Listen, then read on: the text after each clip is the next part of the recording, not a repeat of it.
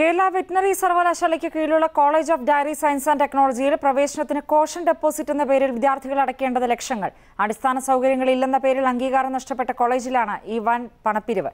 സർവകലാശാലയുടെ നടപടി കോളേജിനെ തകർത്ത് സ്വകാര്യ മേഖലയെ സഹായിക്കാനെന്ന് വിദ്യാർത്ഥികൾ ആരോപിക്കുന്നു. Asianet news exclusive. Kerala veterinary സർവകലാശാലയ്ക്ക് കീഴിലുള്ള college of dairy science and ടെക്നോളജിയിൽ ഡയറി ടെക്നോളജി ഫുഡ് ടെക്നോളജി എന്നീ രണ്ട് ബിടെക് കോഴ്സുകളാണുള്ളത്.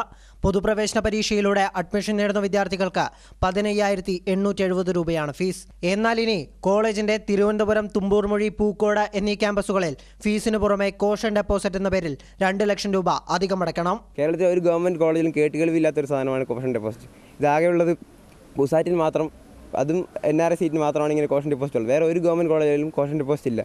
ഇത്രയും വലിയ തുക എന്തിനെന്ന ചോദ്യത്തിനുള്ള സർവകലാശാലയുടെ മറുപടി ഇങ്ങനെ.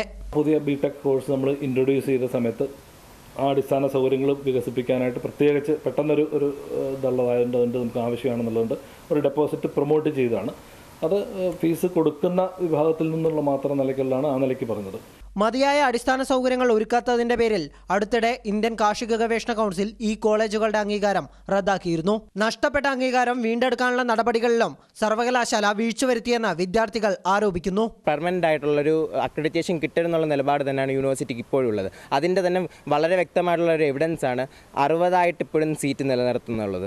നാൽപ്പതായിട്ട് സീറ്റ് കുറയ്ക്കണം എന്നുള്ള അക്രഡിറ്റേഷൻ ടീമിന്റെ പോലും റിക്വസ്റ്റിനെ യാതൊരു വിലയും കൽപ്പിക്കാതെയാണ് ഇപ്പോഴും അറുപതായിട്ട് നിലനിൽക്കുന്നത്. കോളേജിന്റെ നഷ്ടപ്പെട്ട അംഗീകാരം വീണ്ടെടുക്കാനെന്ന വ്യാജേന ഇപ്പോൾ ചെയ്യുന്ന കാര്യങ്ങൾ. കോളേജിനെ തകർക്കാനും അതിലൂടെ സ്വകാര്യ മേഖലയെ സഹായിക്കാനുമെന്നാണ് വിദ്യാർത്ഥികളുടെയും മറ്റും ആക്ഷേപം.